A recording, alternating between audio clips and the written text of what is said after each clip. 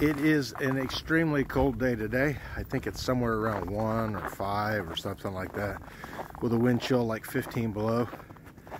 Yesterday it was even worse, so uh, I think today will be one of those days for in the leather studio. Let's go make a holster. All right, since it is ridiculously cold outside today, we're going to stay inside and work on a leather project.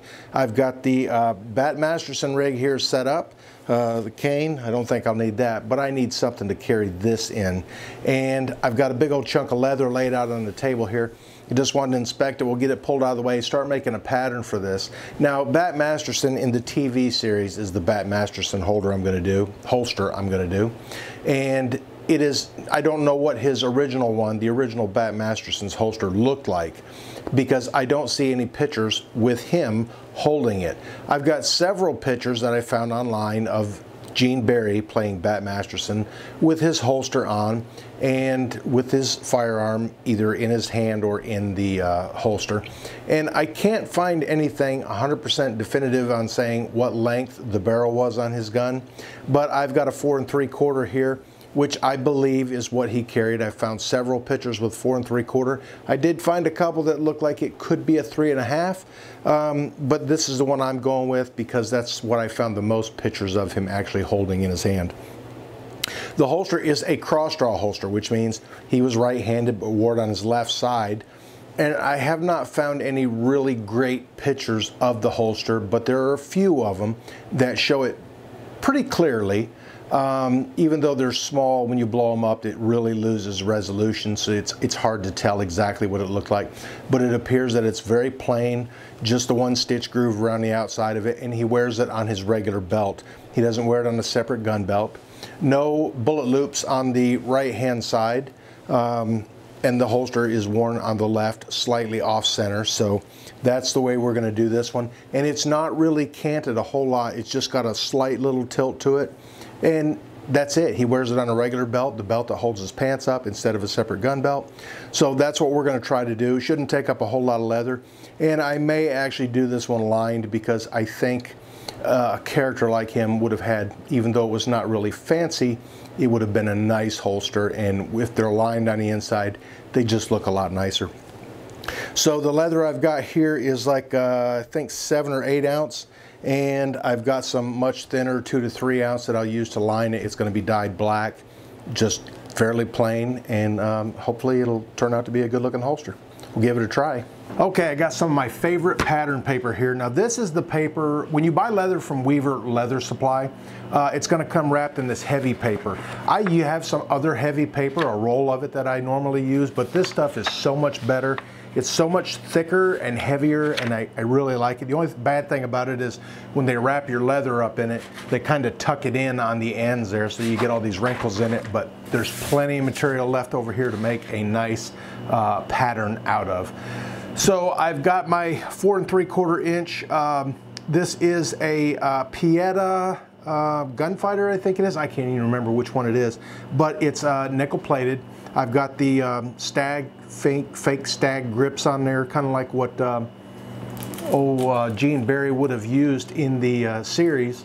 Pretty similar to it anyways. Uh, these are like a fake ivory, uh, not the ones I made. I was going to make a set like this, but once I made them, I could not bring myself to uh, carve them up and put the jigged bone look in there. So uh, I got a pair of these and uh, we're going to use these for the video part of it and for making the pattern. Not that the grips really matter. But that's the holster we're going to go for, kind of what Gene would have worn in the series. And um, got my paper, a couple pencils and everything. Now, I'm not exactly sure how this gun, uh, how this holster would have attached in the back. It does not appear to have a uh, apron or a backing on the back of it that's folded over and attached to it. There is no loop that goes over the front of it to hold it on there.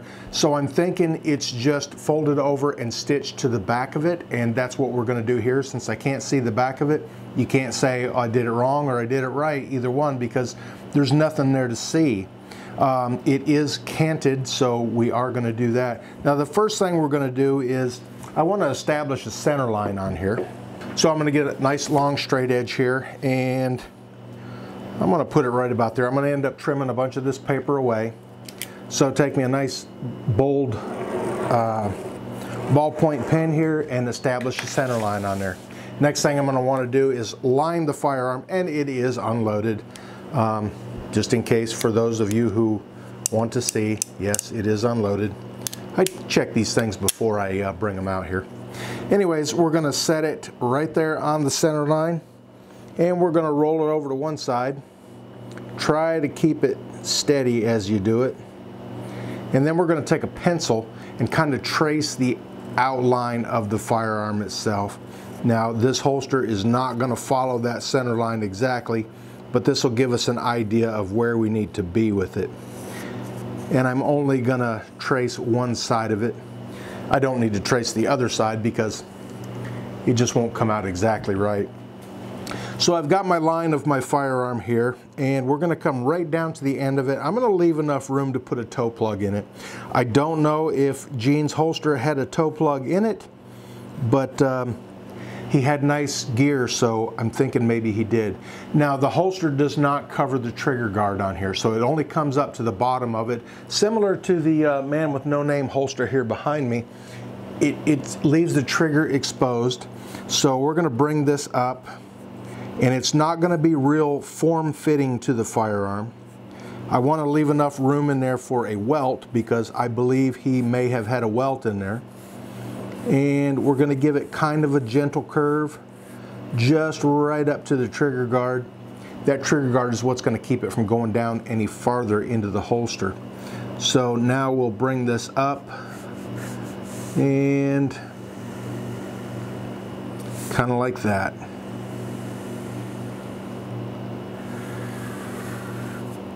Now right now it does not matter if I make this left-handed or right-handed. Once I cut it out that'll determine where it's going to be um, because it's going to be the same either way when you flip it over. So I got to do a little bit of figuring here. Then we'll get this thing cut out. The nice thing is, is it's kind of a small holster so not a lot of material needed. There is going to be a liner in it, but you know. So the way I've got this sitting right now, this will help me determine the back panel on it some. Um, this would be the side up against me because the holster, the gun's gonna sit like that. It is a cross draw, so it'll be up there like that. So the backing piece is gonna be over here. So what I'm gonna do is, we're gonna, typically they're tapered in a little bit. I think my line is gonna be tilted that way to get it, to, yeah, it should be tilted just like that. So we're just gonna, we're gonna do this rough. It's not tilted very much. And then there's going to be the flap that folds over there and comes back to that. Anyways, I'll get to sketching and cutting and trimming and I got plenty of paper here, so if I don't get it right on the first try, that's fine. I got many more tries I can do. All right, I've got something here that resembles a pattern. Like I said, this part is gonna be up against my body, so this is gonna fold over this way, and then this is gonna be just a whole lot of extra I've got on here for the back strap. The angle I established there is just a guess, that's all it is. So I'm gonna fold it right about there. And like I said, this, this will probably not be correct on the first try. That folds over that way and that is pretty close. And that should be, if that's the top of the belt there, that should be just about right for a left-handed cross draw, right-handed cross draw. So, and it does hang down a little bit. Uh, I think I just need to clean this up a little bit and establish a line on here just for an inch and a half wide belt. So I might not even have to attach it to the back down here, but may be able to just do it in this piece here, which might help out a little bit, who knows. We'll clean this up a little bit because I don't think, actually I don't even think it's rounded like that. It's, I don't think it's curved like that. I think it's a lot straighter. So what I may do is, let's transfer that line there. And we'll cut that little curve out of there. And I think the other side is gonna be about the same. It's gonna be pretty straight, pretty square. And I think we're gonna go ahead and cut this right across here. We're gonna have to make it just a little bit wider because I am going to use two layers of leather on here. I'm going to use the thicker on the outside and the thinner for the liner on it. So it will need something to, um, it'll need a little more volume on the inside of it. So I think this is a fairly decent uh, first draft on it, I guess. Like I said, it's not a fancy hol holster whatsoever. Anyways, let's try uh, number two because I've got more paper, lots of it.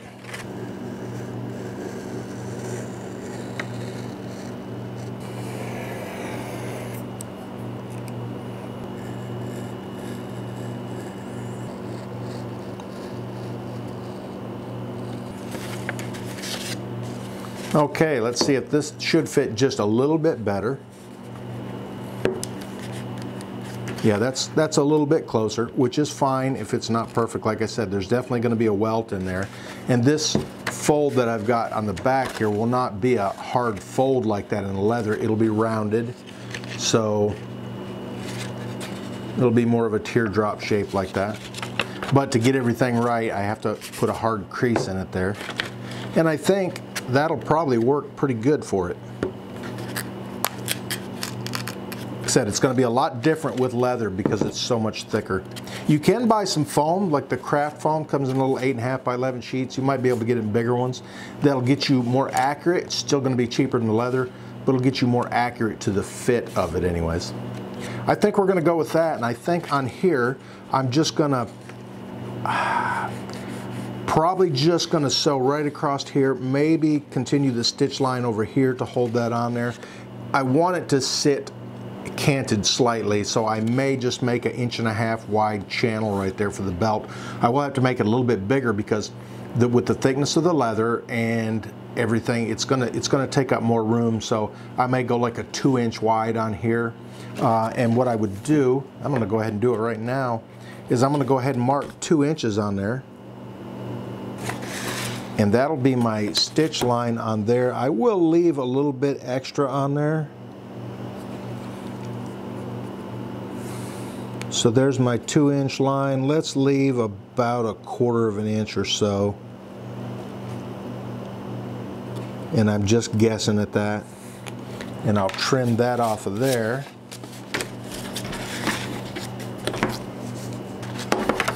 So that line will be my stitch line right there and it will be seen on this side of it.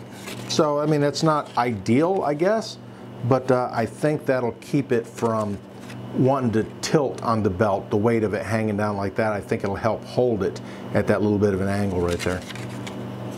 So the next thing to do, I think, is uh, go ahead and get this thing cut out of some leather and keep the fingers crossed and hope for the best, and we'll see what happens. Okay, I got my big old piece of leather up here. One of the things I noticed after I cut the pattern out, I got to looking at it and looking at the picture from the, uh, the comic book actually, because it's a really good picture of his holster on there, at least the top part of it, is it curves down a little bit around the trigger guard a little bit. So instead of making this just a rounded top, I did actually cut it down a little bit. So I think it fits, it looks a little more like his. Uh, and one of the things you want to do is take your pattern make sure that you've got it the right way. This is going to be the outside of it. This is going to be the outside of the holster here. So I want to make sure that I get that part looking the right way. Uh, and then when I do my liner, I need to do it the other way so that, you know, the two sides uh, smooth side on the inside of the holster and the outside of the holster. Now, one of the other things I want to do is I want to look carefully at any marks that are on the leather there. There's little marks on here where it was clamped up to dry. There's a little bad spot right here. It could have been a, I don't know, a bug bite or something on the cow. It does not go all the way through, but I want to make sure I don't get that in there and I want to maximize it as much as I can. You're going to have a lot of waste sometimes. So I think that section right there will do, do pretty good. And I am going to cut it out so it's a little easier for me to manage. And I think that right there will keep me from wasting too much leather. So I'll get that cut out, get this other stuff out of the way here. All right, go get my liner piece. Okay, so I've got my liner piece out here, and the nice thing about this, you can see there's a little discoloration on this. I'm doing a black holster, so that doesn't bother me at all. That's my outside, if I'm wearing it correctly. and I do not want the outside here. I want to be the inside. So I want the inside to be up. And I'm gonna have to position it around where I can, again, use the, use the best of it I can, the most, the best parts of it I can, I guess, without wasting too much. Now this is uh, like three and a half ounce leather here, so it's pretty thin and the outside part of it is seven ounce. So 10 ounce, 9, 10 ounce is really a good weight for a holster. Uh, it holds its shape really well. And it's not too hard to work with either. Okay, I got all my pieces of leather cut out, sort of anyways. One of the things I like about going to Weaver Leathercraft is like this piece here, they have a scrap bin there that's got just little pieces because they manufacture things there too, um, finished leather goods. They have scrap pieces of some really thick stuff and I like to dig through there and grab some pieces so I can cut out like welts and toe plugs and stuff like that. But now that I've got my outer piece, my inner piece, my toe or my uh, welt cut out. Uh, I'm going to hold off on the toe plug until I get it uh, formed up and then I can see about what it needs to be to be in there. Um, I'm going to go ahead and get these pieces trimmed up. Inside right hand, I did right on there. Inside and then outside right hand cross draw Bat Masterson. So that goes on there. This goes on here. And I'm going to trim around the bad parts where there's like a numbers burned in here, etched in here, stamped in here, whatever. And I like to use a nice fine ballpoint pen when I'm tracing this out. I'm not worried about the uh, ink being on there because by the time I uh, bevel the corners and everything, it will be gone. Uh, so I'm going to get it traced out and then uh, get to putting this thing together. And that nice thick paper makes it really easy to trace.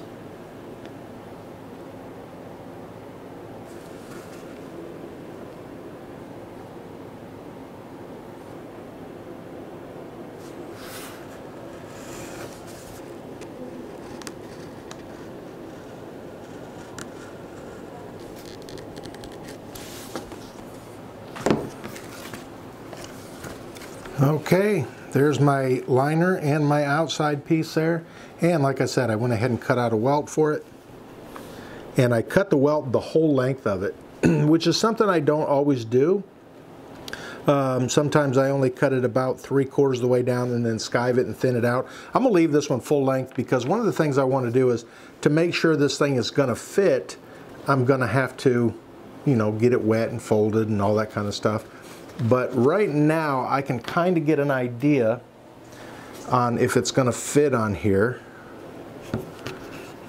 Just taking the outside piece. Yeah, it's going to fit, but it is definitely going to need the welt in it. Maybe two welts. That one might not be thick enough to uh, make up the difference on it. So I have no problem cutting another welt and putting it on there. And that's what we're going to go for.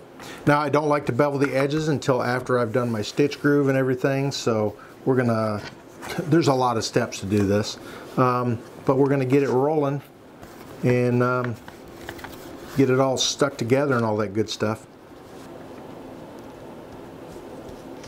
And this is contact cement. I prefer it. It uh, is a very strong adhesive. Strong smelling too. Highly flammable also.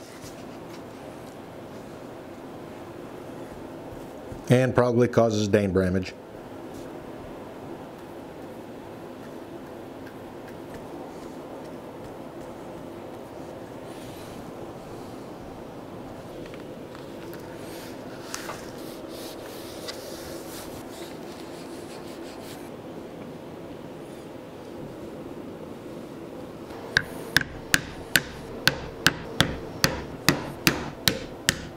All right, right now I'm only gonna stitch the top and the sides right up here on the back strap and everything. I'm gonna leave this unstitched because I have to fold it over and stitch it to here. And I'm not gonna do the sides or the bottom yet. So just gonna start here at the corner. This is sort of a decorative stitch, um, but it is helping hold the two layers together.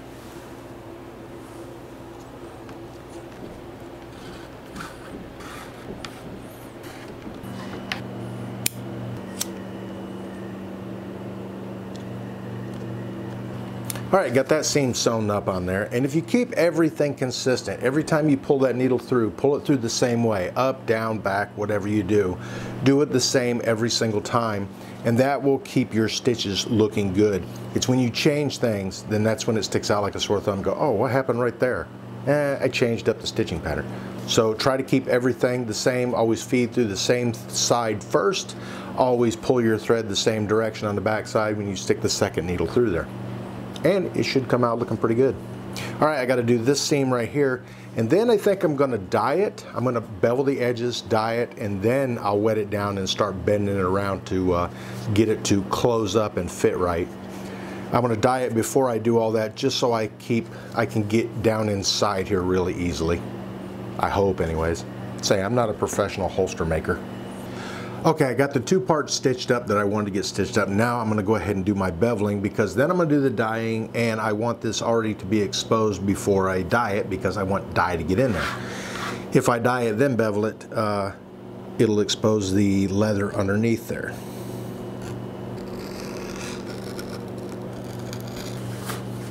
Okay, I got me a layer of plastic down underneath here because I didn't do that before and the dye soaked through my paper and got my cutting mat stained up a little bit. So right now I've got plastic and paper down and I like to start from the inside first because if I mess that up when I flip it over and set it down, it's not that big of a deal. So let's get this shook up a little bit. I got my uh, merkin here, the little piece of wool, and I got a wool dauber here too. And we're gonna get some stain on this thing, or dye on this thing. Now this is Fiebing's Pro Dye, which is a oil-based dye in an alcohol carrier. And I probably should not have gotten it on there, but it's a little late now. We're gonna dye the whole thing. Now we'll flip it over and I'm not worried about that side showing any flaws or anything. It's the inside.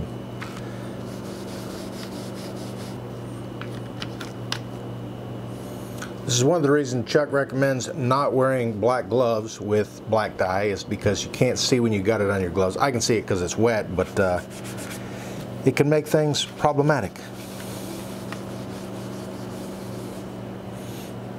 All right, well, this is wet with the dye. We're gonna go ahead and get it started in the folding process, get it curled around a little bit. Maybe.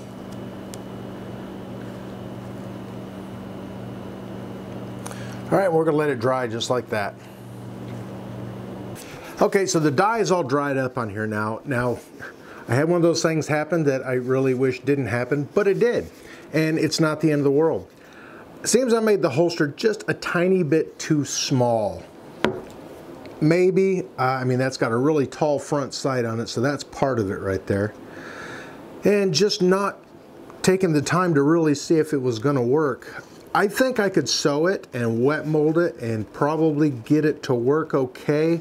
But one of the things I did do when I was making this, because I suspected it could happen, was I did cut out an extra welt. So what I'm going to be doing here now is putting this extra welt in there because it's going to need it. Um, that'll get it a lot closer and make it a lot easier to fit that, to wet mold that firearm into there.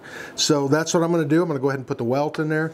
And I'm going to go ahead and get this punched out and uh, sewn together. So when I do sew this up, it doesn't matter. I can do it either way, but um, I, I, definitely got to get the other welt put on there. So anyways, I got a little bit of uh, dye to scrape away, I think. Um, I've never tried gluing over the dye, but I am going to rough it up. I have to do that anyways because it is the smooth side in here.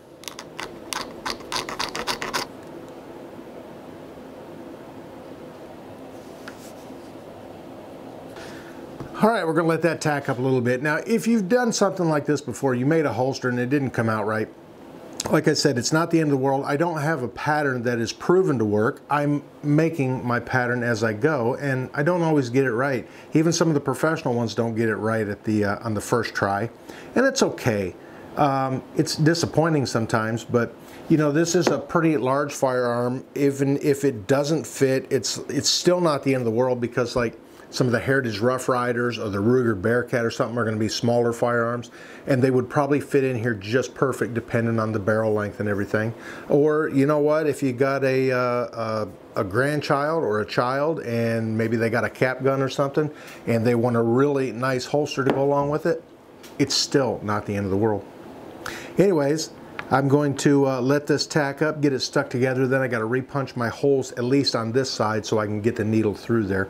And then I'll get it sewn up because there's not much else to do. I can't make it any bigger unless I put another welt in there and I don't want to do that. Two welts are plenty to go in here. So we'll just see what it uh, comes out like.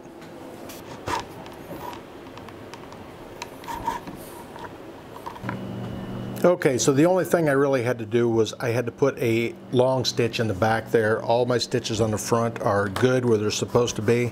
Uh, it's going to take a little burnishing to get some marks out of here from working that all through there. But the most important part now is, is the firearm going to fit? I'm going to tell you right now, no. no, it is not. Well, actually, it's not too far off. Yeah, that actually does fit. So really, all I got to do now is just get this thing wet molded, and I'm going to get it in some really hot water and wrap the gun in some plastic, several layers of it, and get it to put in there, pushed in there, because that's definitely not the kind of uh, retention you want to have on a, a quick draw setup for sure. So anyways, I'm going to go up to the kitchen sink and get this thing wet molded, get this wrapped in plastic, and get it squeezed down in there. And I think uh, I saved it. You know, kind of.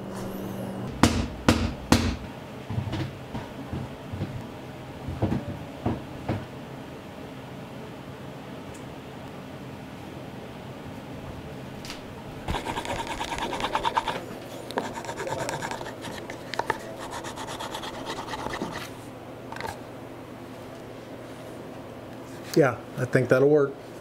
Took a little bit of stretching to get it out there, but now I've got the retention that I want, which is pretty much zero. So now uh, I did not put a toe plug in it. Not going to. Uh, I did put stitch holes around there. I should probably go ahead and at least run some thread in there to fill it in. I may put a toe plug in it, who knows. But I was a little disappointed with the mistakes that I made on it, but I think it's it turned out okay. Yeah, Zero retention fits in there just about right. It could actually go down just a little bit lower because it's not actually contacting the trigger shelf there, I guess. But it fits in there pretty good. For a movie prop, video prop, whatever, works pretty good. We got to try it out, see how the whole thing looks. So all right, guys, there it is. Uh, got the Bat Masterson get up going on here. Got the cane and everything. And more importantly, I've got the holster done. So it is not exactly like his was done in the TV show. I can't tell exactly how his was done because all I've got is some pictures to go by on the internet and what I can see on the TV show. But it is a cross draw holster right-handed wears it on the left side slightly off center there got the staghorn grips on it not exactly like his, but the holster I think is pretty close. Just a slight cant to it.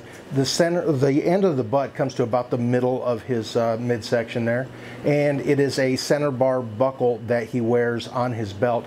And like I said, it's just the standard belt that holds his pants up. So that's my version of it. Probably not my best holster, but um, you know, I'm not a professional holster maker, and it's just fun to make them. I like making the little props for the different videos I do. So I'll have to get this thing out on the range one of these days and give it a try in the whole Bat Masterson setup. Anyways, thanks for watching Small Caliber Arms Review. If you could reach up here and hit this button to check out some of my other videos and hit this button down here to subscribe if you haven't already. And thanks for watching.